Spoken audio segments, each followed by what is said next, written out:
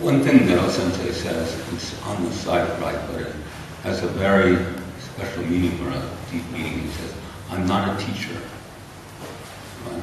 He says, I, I just practice or always intensely. I wrote practicing and practicing, translate different ways. And then he says, my teacher, because it's the great universe. This is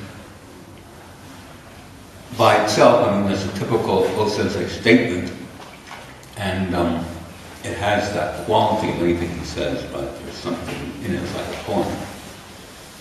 But there's a special meaning to it, which eventually I'll try to develop on the site, which is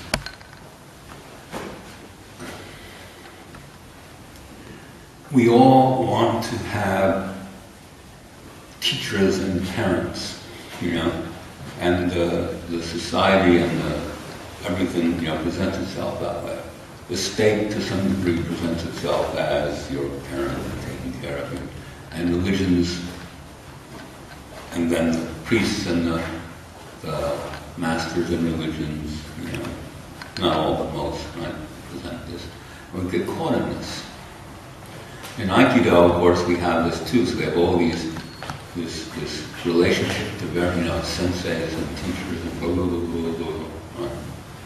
But there's another quote from O Sensei, which is very important. It's not yet on the site, but he says, you only can learn a small amount from your teacher.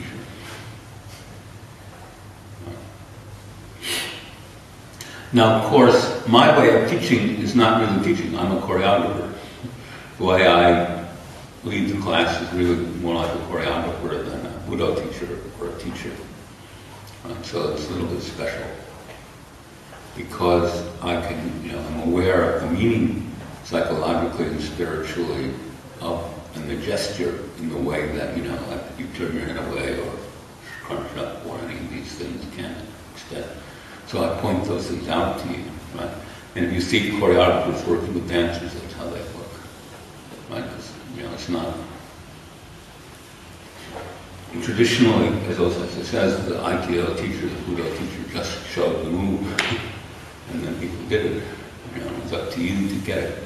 And of course, that's that's true. That's true. When you get something yourself, you know, even if it takes longer, get it yourself. There's a special, you know. But uh, anyway, in terms of, of this this thing, says I'm not a teacher, right? and we want to have a teacher. Of course, what I want to say is I'm not a teacher either. I'm a choreographer. That's different, right? I'm working with, as a choreographer, work with the, the spiritual intent and, uh, you know, in the move rather than. So he said, my teacher is the great universe. Right? He also says, he also talks about the Aikido different ways. Times he says Aikido comes from the kami, comes from the soul, comes from the universe. What he makes clear is it's not made, it's not human made.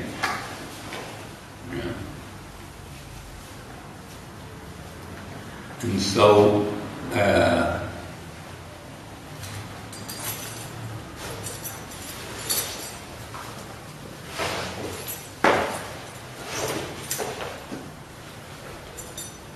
I mean, traditionally, there's there's this kind of relationship with nature, which is traditional in Budo, in traditional Budo, like to you know, to watch how the wind blows and the leaves blow and water flows and all that kind of stuff. You can get that into your. The universe, right? So, to my experience, the only viewpoint which looks at the universe the same way as O Sensei that I can find that is really almost like a double of what O Sensei says is Buckminster Fuller. So I have a lot of stuff. I put a little bit on, but I'll put a lot more on where you can get that. Right.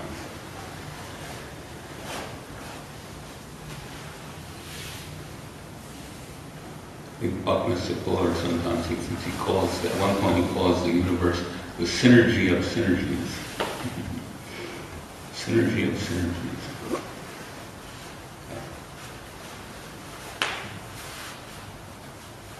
So synergy, of course, you know, is um, in the most simple terms, scientific terms, like when you make an alloy. You make an alloy, for instance, an alloy which is based on strength, like, say, chrome nickel steel. The power, the psi of chrome nickel steel is, is much, much higher than if you just added up the three psi of the chrome nickel and steel. Right? And it's no way you can predict that. There's no way to predict that thing, right? And that, that extra thing that comes from interrelationship, right? synergy. So then, what Buckminster Fuller called the universe the synergy of synergies.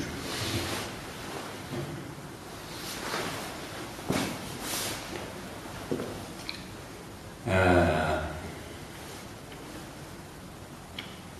so that has kind of feeling in it, of idea, right? Really think that phrase, that just that simple phrase. And of course, if you think about it, you know, who else would say that? You know, you look at various scientists mathematicians and philosophers. Mm-hmm.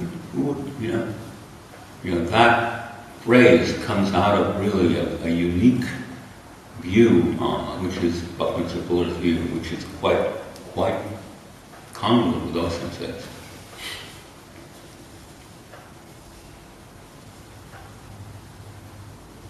Those say even, you know, there's the quote that I've said many times, which said, I don't see the need for technology and machines, but if men must make machines, they should make them with ki going in the center. And Buckminster Fuller talked about stage one and stage two evolution. Right? Stage one is the evolution which is essentially completely congruent with the way the universe works or the way you know, things happen in the universe. And stage two is what human beings create forms and you know machines and whatever out of you know usual stuff of fear and greed and you know, competition and all that kind of comparing, all that kind of stuff. Right? You can't leave the universe, so those things are not out of the universe. But yet there's a difference between the level of what you call stage one and stage two evolution. In stage two, evolution forms will still, at some level, having an, a stage one effect, but it's not the same as stage one. So there's, there's stuff like this, right? And of course, to really explore into this and to understand it or to get it, and then to have it somehow manifest in your in the practice, in your moves, this, of course, is Bun, the, the Bun half of Bun and Bu. It's as creative and as profound and related to the truth as the Atido are themselves. And of course, it's important to know that because we want to believe what goes on in school. We want to believe that the six they gave us in school means something. We want to believe that this whole thing, you know, we don't want to. But of course, those desires, those dreams, from a, from a straight Budo standpoint, they will not allow us to function under the pressure of life and death. You know, we want to hold on to the dream. Or we want to hold on to life. That's why in the old Budo, the old fighting Budo of Japan that started in the Middle Ages, right? The first thing that they tried to do was to move the, the, the practitioner out of fear of death. And they, they did pretty well, of course, so it was part of the culture.